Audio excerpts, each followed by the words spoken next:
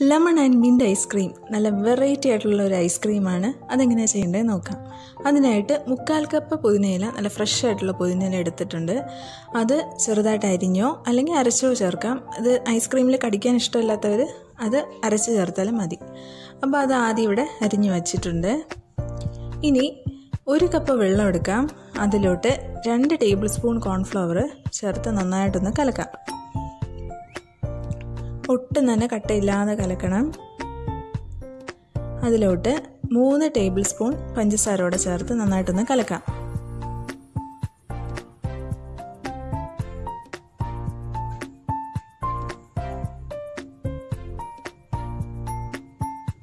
നന്നായിട്ട് മിക്സ് ആയിട്ടുണ്ട്. ഈ കൂട്ട് നല്ല ചൂടായി കിടക്കുന്ന പാനിലോട്ട് ഒഴിക്കാം. ഇതിലോട്ട് നേരത്തെ റെഡിയാക്കി വെച്ചിരിക്കുന്ന മിന്റ് ലീഫോടെ ഇട്ട് കൊടുക്കാം. ഇതിനി നന്നായിട്ട് ഇളക്കി കൊടുക്കാം. ഇതിലോട്ട് രണ്ട് ടേബിൾ സ്പൂൺ നാരങ്ങ നീരോടെ ഒഴിക്കാം. ഒരു വലിയ നാരങ്ങയുടെ നീര ഒഴിച്ചിരിക്കുന്നത് അതും കൂടെ ചേർത്ത് നന്നായിട്ടൊന്ന് ഇളക്കി കൊടുക്കാം. ഇതിന് നല്ല കുറുകി വരും.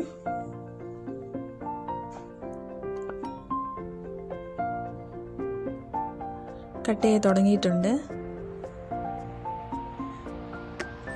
ഈ സമയത്തിലോട്ട് ഒരു ടീസ്പൂൺ ലെമൺ സിസ്റ്റോട് ചേർക്കാം. നാരങ്ങയുടെ തൊലി ചൊരണ്ടിയതാണ്. ഒട്ടും തന്നെ ആ തൊലിയിൽ വെള്ളഭാഗം വരാതെ ചൊരണ്ടിയെടുക്കണം. നല്ല മണം വരും. ലെമൺ എസൻസിന്റെ ഒന്നും ആവശ്യമില്ല. ഇപ്പോൾ നല്ല തിക്കായി വന്നിട്ടുണ്ട്. ഈ ഒരു കൺസിസ്റ്റൻസിയിൽ നമുക്ക് കിട്ടണം. ഇതിനി ഫ്രിഡ്ജിൽ വെച്ച് രണ്ട് മണിക്കൂറൊന്ന് സെറ്റാക്കി എടുക്കാം. ഇതിനെ ഒരു ബൗളിലേക്ക് മാറ്റാം. പറ്റുമെങ്കിൽ ബൗളും കൂടെ കുറച്ച് സമയം ഫ്രിഡ്ജിൽ വെച്ചൊന്ന് തണുപ്പിക്കുന്നത് നല്ലതായിരിക്കും. ഇതിലോട്ട് ഒരു കപ്പ് വിപ്പിംഗ് ക്രീം തണുത്ത വിപ്പിംഗ് ക്രീമോട് ഒഴിച്ചു കൊടുക്കാം. ഇതിനി നന്നായിട്ട് ബീറ്റ് ചെയ്യണം.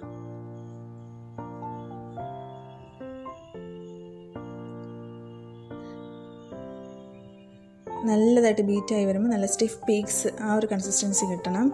അതിലോട്ട് അര മുതൽ മുക്കാൽ കപ്പ് വരെ കണ്ടൻസ് മിൽക്ക് ചേർക്കാം. മധുരത്തിനനുസരിച്ച് കൂടുതൽ ചേർക്കാം.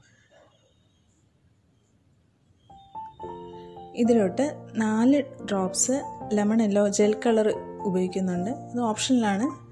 ചെറിയൊരു യെല്ലോ കളർ കിട്ടാനാണ് ചേർത്തിരിക്കുന്നത് അതും കൂടെ ചേർത്ത് നന്നായിട്ട് ബീറ്റ് ചെയ്യാം.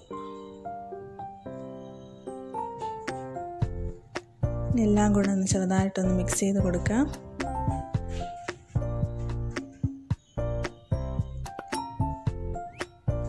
എന്നിട്ട് ലാസ്റ്റ് ജസ്റ്റ് ഒന്നും കൂടെ ഒന്ന് ബീറ്റ് ചെയ്ത് നിർത്താം.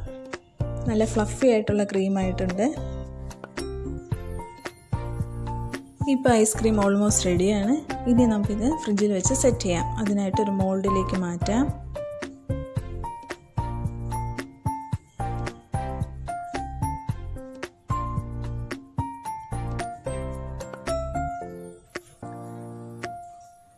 ഇതിനെ അടച്ച് വെച്ച് മിനിമം ഒരു ആറ് മണിക്കൂറെങ്കിലും ഫ്രീസറിൽ വെച്ച് സെറ്റ് ചെയ്യാം.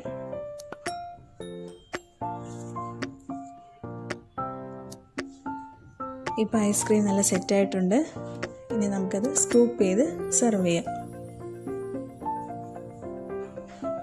നല്ലൊരു വെറൈറ്റി ടേസ്റ്റാണ് അധികം ആരും കഴിച്ച് കാണത്തില്ല ഇങ്ങനത്തെ ഒരു ഫ്ലേവർ ഇതിന്റെ പുറത്ത് മിന്റ് ലീഫൊക്കെ വെച്ച് നമുക്ക് ഡെക്കറേറ്റ് ചെയ്ത് സെർവ് ചെയ്യാം. നല്ല റിഫ്രഷിംഗ് ആണ്. എല്ലാവർക്കും ഇഷ്ടപ്പെടും.